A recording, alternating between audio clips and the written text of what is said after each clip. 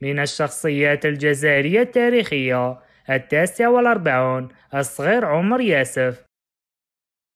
السلام عليكم مرحبا بك على قناتي.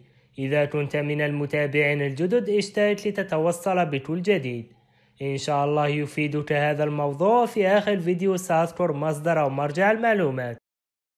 عمر ياسف. الشهيد عمر ياسف المعروف باسم عمر الصغير. مثال لتضحية الطفل الجزائري أثناء الثورة التحررية. الطفل عمر ياسف انضم إلى الثورة وسنه لا يتعدى 13 سنة وكان من مجاهدي حي القصب العتيق. شارك مع رجال في سن والدي في حمل الرسائل إلى المسؤولين وكان حلقة وسط بين القائد العربي بن مهيدي وياسف سعدي وباقي الفدائيين.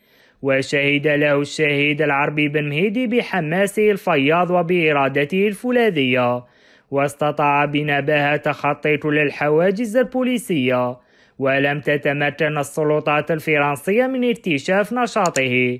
إلى أن استشهد رفقة حسيبة بن بوعلي وعلي لابوانت وحميد بوحميدي يوم الثامن أكتوبر 1957 ميلادي.